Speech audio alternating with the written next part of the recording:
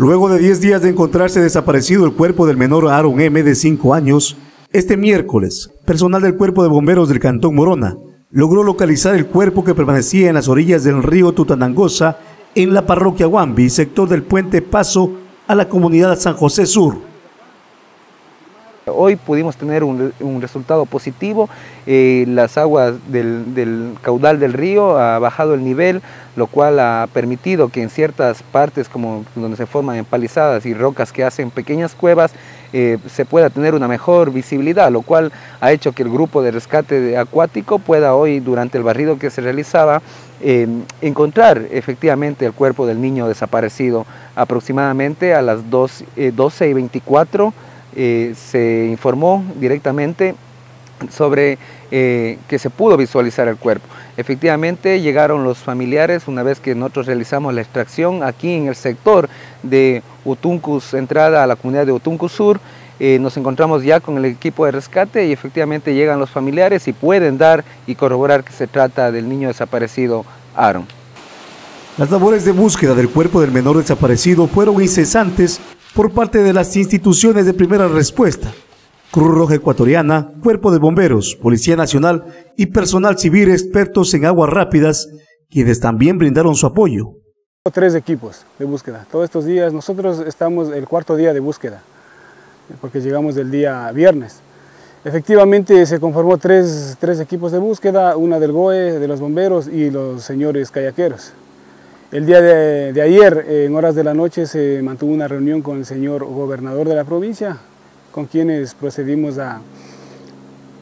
organizar esta búsqueda para el día de hoy. Eh, con respecto al, grupo de operaciones especiales, nos tocó realizar la búsqueda desde el punto cero hasta el puente,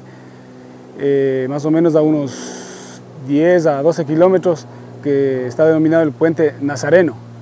Desde ahí hasta la unión del río Tutanangosa con el río Pano estaba a cargo del cuerpo de bomberos que iban a bajar en un bote para aguas rápidas.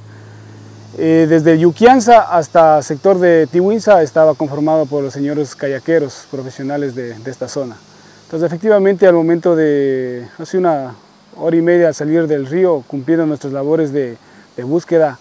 eh, buceando y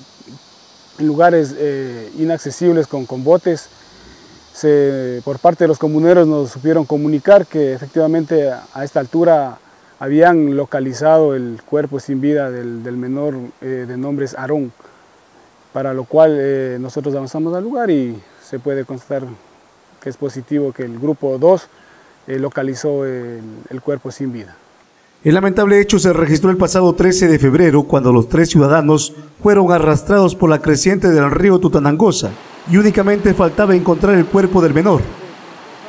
Hemos cumplido eh, el objetivo que teníamos eh, no queríamos también que más personas eh, se vuelvan expuestas también, ya que sabíamos que había recompensa y eso hace que eh, muchas personas arriesguen también quizás su integridad. Lo que nosotros queríamos como institución, que institución sin fines de lucro, institución con la cual hacemos nuestro trabajo con mucho cariño, compasión y sobre todo con empatía hacia nuestros ciudadanos, ya que nosotros también somos seres humanos, también tenemos familiares, lo cual ha hecho que no podamos desmayar estos días y no perdamos la esperanza de poder recuperar el cuerpo. El cuerpo, que aún permanecía intacto, pudo ser identificado de forma inmediata por sus familiares, para luego ser trasladado hasta la morgue y en realizar las respectivas diligencias de ley,